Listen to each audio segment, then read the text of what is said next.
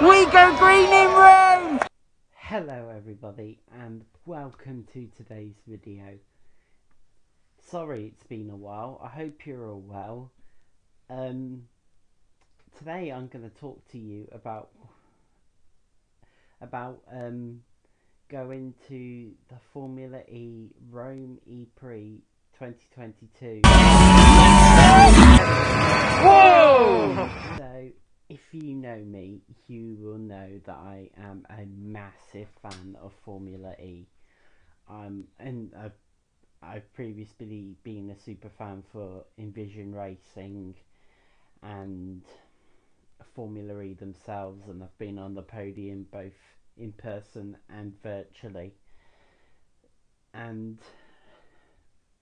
although I was lucky enough to manage to attend the London Formula E races last year as a spectator, it it's um I didn't get to see anyone I know or anything because of the COVID restrictions at the time. Well, thankfully, COVID restrictions have now lifted and all that, and things are getting back to normal. So, I took the opportunity to attend the Rome E-Prix for my 18th and 19th Formula E races, and it wasn't as straightforward as you think because, for a start, I usually do all my races with Richard, my PA and carer. Unfortunately, he couldn't actually make it to this race, so for a while it looked like I wasn't going to go. But then my former college teacher and very good friend and fellow motorsport fan Jody stepped in and yeah, we'll explain how everything went for the Rome E-Prix and the, my time in Rome and I'll be back later to debrief. So hope you enjoyed the video and I'll see you at the end.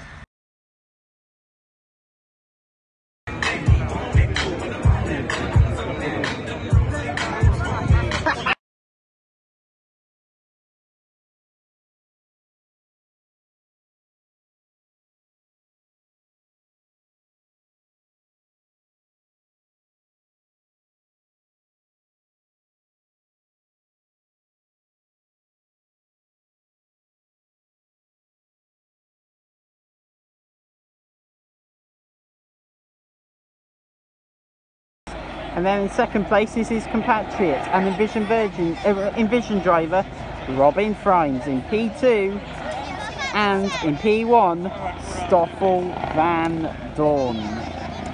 So that is your grid for today's race. Now they've got race. The crowd love him. And he loves them as they're all stopped and lining up on the grid very slowly.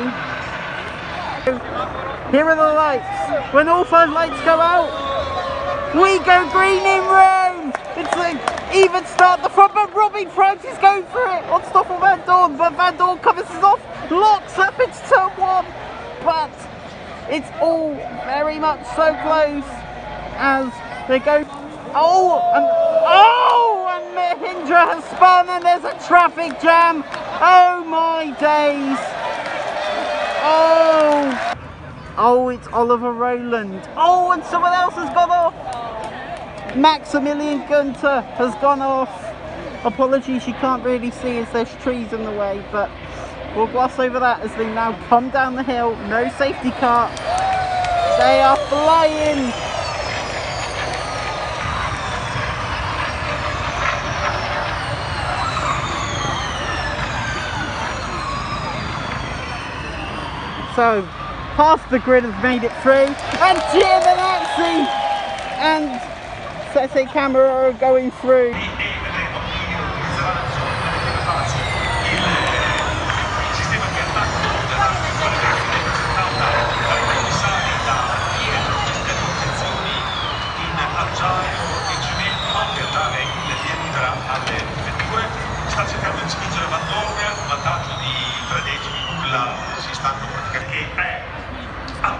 attaccato il primissimo,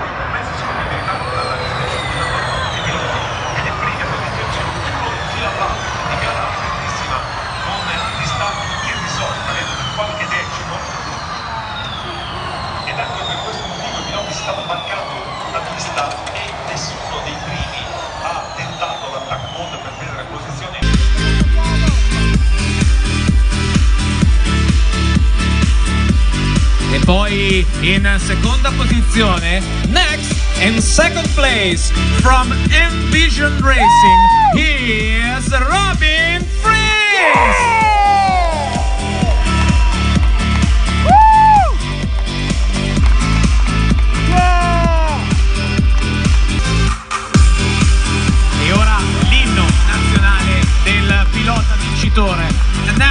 The national anthem of the winning driver from New Zealand.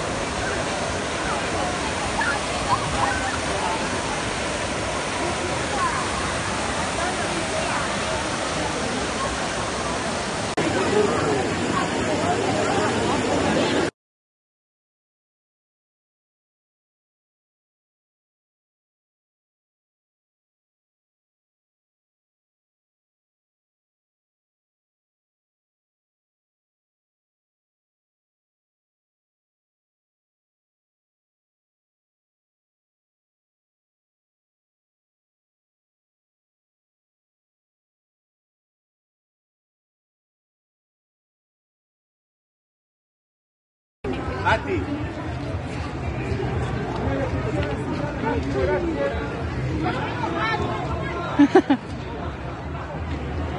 luck, Antonio. Thanks, man. Good luck, Jeff.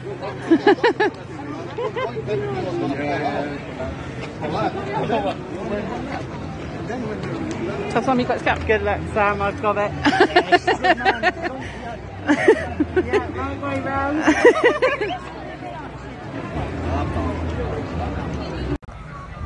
Here we are, race two of the 2022 Rome E Prix and two-time champion John Eric Verne. Here come the cars now, about to electrify the streets of Rome as Jev now makes his way down to the grid. Come on Sam, come on Robin.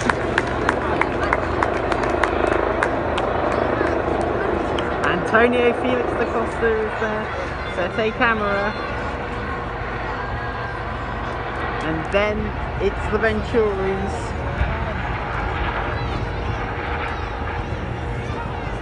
Great Indian champion Nyck de Vries is down at the bottom towards the back.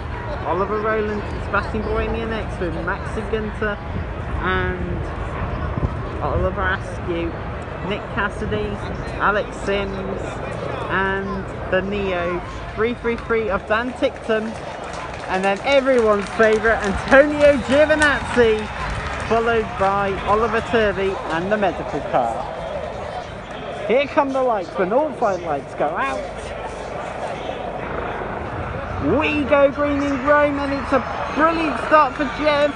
But what about Jake Dennis? I can't see because of the tree. Apologise for the view, there's a lovely tree inside blocking the view. And here we go.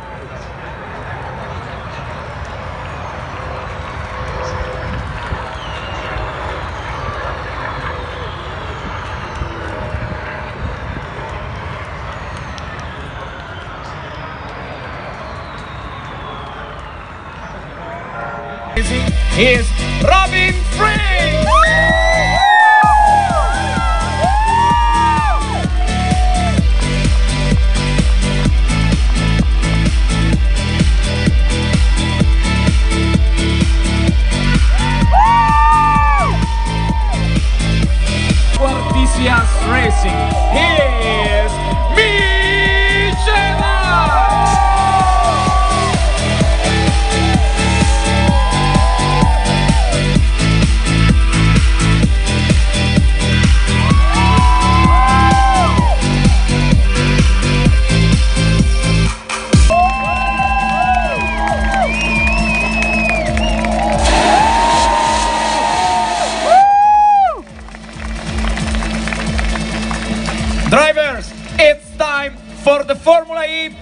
selfie. Oh.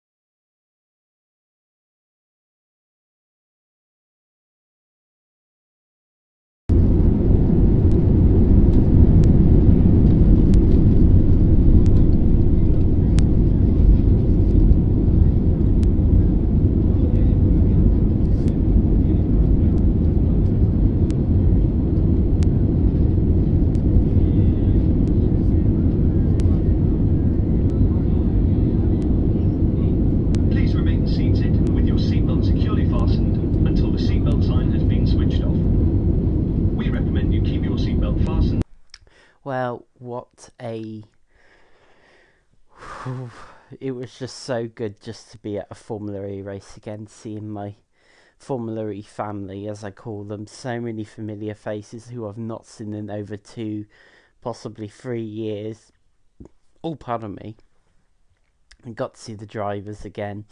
Antonio and Sam gave me their hats. Envision Racing gave me their sunglasses. And of course, with me not being able to take my flags, I was worried that nobody would recognise me with a mask on as well. But thankfully, what I learnt is I don't need my flags to be recognised, and people just love me for who I am.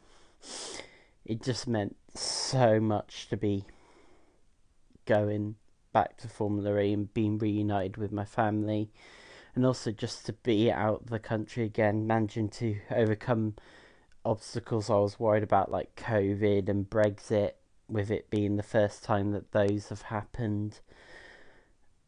And yeah, it's just good, you know, just to be back. I'm really looking forward to doing my next Formula E races in Berlin. Berlin race one will be my 20th Formula E race, providing I can travel over there.